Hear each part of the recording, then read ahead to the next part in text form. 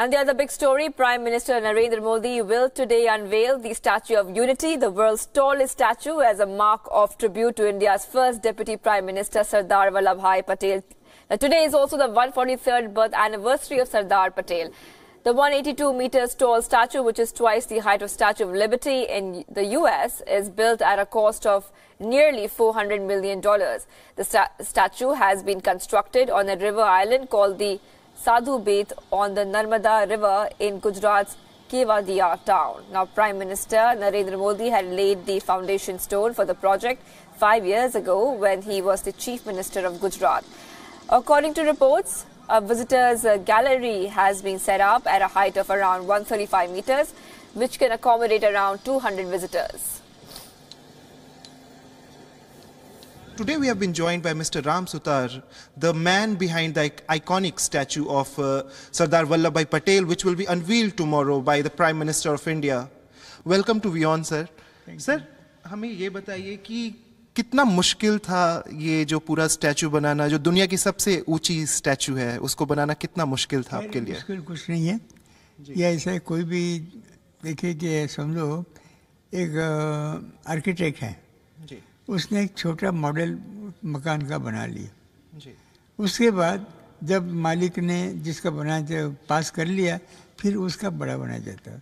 वो एनलाजमेंट करते तो उसी तरह से ये मूर्ति का भी है। हम छोटे मॉडल बना देते फिर उसके मुताबिक बड़े बनाने का टेक्निक जो है एनलाजमेंट वो करते करते बड़े बनाया जाता। और सर, ये दुनिया की सबसे बड़ी स्टैचू है और ये एक ऐसी आइकॉनिक स्टैचू होगी जिसको कि दुनिया में हमेशा याद रखा जाएगा। तो इसके बारे में आपका क्या सोचना है कि कितना डिफरेंट है ये बाकी भी स्टैचूज और इतने सालों से जो आपने काम किया है, उससे कितना डिफरेंट है ये? डिफरेंट खैर, सबसे बड़ी मूर्ति ये डिफरेंट तो यही है। और ख़ास बात है कि ये स्टैचू बनाने का मकसद, क्या आइडिया वगैरह या जिन्होंने बहुत भारी काम किया है दुनिया में ऐसा किसी ने नहीं किया है। जी। इसी तरह से दुनिया में कई ऐसी मूर्ति नहीं है ये भी चीज़ आ गई। तो बहुत अच्छा रहा। ये मोदी जी ने ये इतना कल्पना की और कल्पने के अनुसार ये काम उनका बन गया। और उसके लिए उनकी कल्पना की उनका कल्पने के साथ हमारा हो रहा और इसीलिए ये मूर्ति बड़ी बन गई।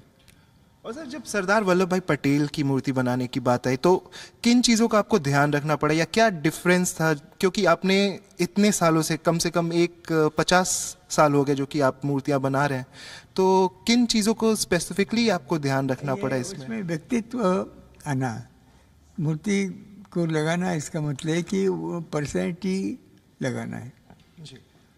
चेहरे पे चलने का ढंग ये वो याद आना चाहिए। और हर एक आदमी को अब देखते ही पता चलेगा कि ये कौन सा टाइप का आदमी है। और ये चीज़ मूर्ति में दिखना चाहिए।